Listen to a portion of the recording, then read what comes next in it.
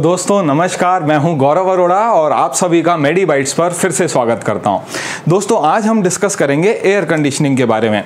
तो कई लोगों के मन में ये भ्रांति रहती है कि एयर कंडीशनर जो हैं, वो हम गर्मियों में यूज़ करते तो हैं, लेकिन इनका सेहत पर क्या प्रभाव पड़ता है? तो दोस्तों, आज मैं आपको ये बताऊँगा साइंटिफिकली एयर कंडीशनर्स का आपके सेहत के ऊपर क्या इफ़ेक्ट है।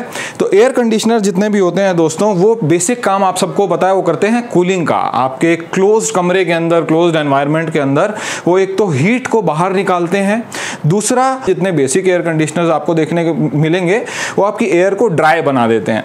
तीसरा ये जो काम करते हैं, वो करते हैं एयर फिल्ट्रेशन का, क्योंकि इनके अंदर एक एयर फ़िल्टर लगा रहता है, जो कि एयर की डस्ट को फ़िल्टर करने के बाद बाहर करता है। इवन आजकल एयर कंडीशनर्स के अंदर ऐसे प्री फिल्टर्स लगे आ रहे हैं, जो कि एयर से डस्ट के साथ साथ बैक्टीरिया को भी कैप्चर कर लेते हैं। अब आपको पता है इतनी गर्मी हो रही है, अगर आप बाहर जाएँगे इस टाइम पर, लू लग रही है इस टाइम पे तो लू लगने के टाइम पे हीट स्ट्रोक जैसी बीमारियाँ जो है, वो हो सकती हैं आपको। तो एयर कंडीशनर ऐसे तो आपके लिए फ़ायदेमंद ही है। आपने इवन ये भी देखा होगा कि हॉस्पिटल्स के अंदर एयर कंडीशनर यूज़ होते हैं। तो हॉस्पिटल्स के अंदर जो एयर कंडीशनर यूज़ होते हैं, वो 24 घंटे तक एयर कंडीशनर यूज़ होते रहते हैं।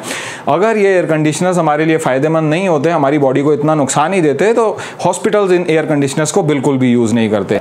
इसका एक्चुअली कोई भी नुकसान नहीं है, कोई मेजर डायरेक्ट इफ़ेक्ट नहीं है एयर कंडीशनर्स का।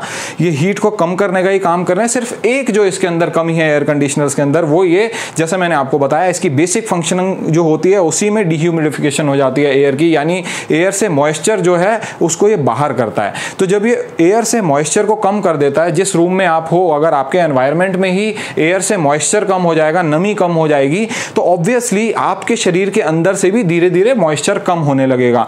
ऐसे में आपकी स्किन जो है नमी खोने लगेगी। आपका जो नेजल सेप्टम है, यानी जो आपकी नोज़ है, उसके अंदर से मॉइस्चर सूखने के चांसेस बढ़ जाएँगे। तो अगर आपका नेजल सेप्टम भी सूख जाएगा तो अंदर बैक्टीरिया जाने के चांसेस बढ़ जाते हैं। ऑल जब एयर कंडीशनिंग रूम है और बंद रूम है तो उसके अंदर बैक्टीरियाज आने के चांसेस कम ही होते हैं। लेकिन स्टिल अगर आपका एयर कंडीशनिंग की सर्विस में कोई प्रॉब्लम रही है, आपने सर्विस नहीं करवाया, आपने एयर कंडीशनर को ठीक से, काफ़ी टाइम से नहीं साफ़ किए हैं उसके फिल्टर्स तो ये बिल्कुल पॉसिबल है कि एयर कंडीशनर के अंदर से ही बैक्टीरिया निकल के एनवायरनमेंट में आए और वो बैक्टीरिया जल्दी आपको इन्फेक्ट कर देंगे क्योंकि आपकी बॉडी से मॉइस्चर लूज हो चुका है, आपके नेजल सेप्टम से, आपकी नाक में से पानी सूख चुका है, जो कि एक फ़िज़िकल बैरियर था बैरियर कैसा कि जो बैक्टीरिया को अंदर जाने से रोक रहा था। तो ऐसे में बैक्टीरिया अंदर जाने के चांसेस बढ़ते हैं। हैं इन्फेक्शन के चांसेस कभी कभी बढ़ जाते हैं। तो आपको ध्यान रखना है कि आप एसी की सर्विस टाइम पर करवाएँ। और एक चीज़ का बात का ध्यान और हमें रखना है कि जब भी हम किसी एयर कंडीशनिंग रूम से बाहर गर्मी वाले रूम में जा रहे हैं तो हम पहले एक नॉर्मल टेम्परेचर पे आ जाएँ। जनरली हम करते क्या है, आप नॉर्मल कमरे में एयर कंडीशनर में बैठे हो, अचानक से आप गर्मी वाली जगह पे चले जाते हो तो अचानक से जो ये हीट से कोल्ड से आप चेंज करते हो अपने बॉडी का टेम्परेचर उससे आपकी बॉडी को नुकसान हो सकता है। तो इससे हमें बच बचना होगा कहीं ना कहीं। इवन बच्चे जो हैं, वो ज़्यादातर ऐसे करते हैं, बच्चों को ये सब करने से रोकना होगा, उससे उनको इन्फेक्शन का खतरा बढ़ता है। आप जनरली करिए ये कि आप नॉर्मल टेम्परेचर पे आने दीजिए पहले रूम टेम्परेचर पे आने दीजिए अपनी बॉडी को, वो कैसे करेंगे? जब भी आपको रूम से बाहर जाना है तो आप 15-20 मिनट पहले एसी बंद कर दीजिए, उससे आप नॉर्मल टेम्परेचर पे अपनी बॉडी को ले आएँगे, उसके बाद आप बाहर जाइए। इवन अगर आप गाड़ी में भी एसी चला के बैठे हैं एयर कंडीशनर ऑन करके बैठे हैं तो चिल्ड मत कीजिए उसको। कई लोगों को मैंने देखा है, वो अपनी गाड़ी का एयर कंडीशनर बिल्कुल हाई मोड पे चलाते हैं फुल कूलिंग पे चलाते हैं, लेकिन ऐसा हमें नहीं करना चाहिए, क्योंकि गाड़ी से सीधा जब आप बाहर निकलेंगे तो सीधा आपको हीट पड़ेगी, आपकी बॉडी एकदम से टेम्परेचर चेंज करेगी, जिससे कि आपको इन्फेक्शन का खतरा भी बढ़ जाएगा। तो कुछ इन सब बातों का अगर हम ख्याल रखेंगे तो एयर कंडीशनर कहीं भी हमारे लिए खतरनाक नहीं है। सिर्फ़ उसकी सर्विस आपको प्रॉपर करा के रखनी है और अचानक से आपने टेम्परेचर चेंज नहीं करना है।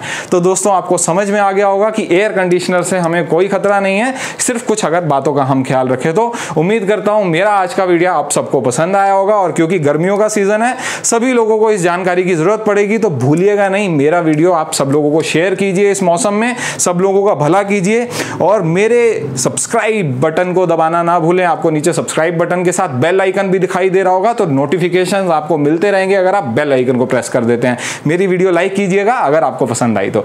Thank you so much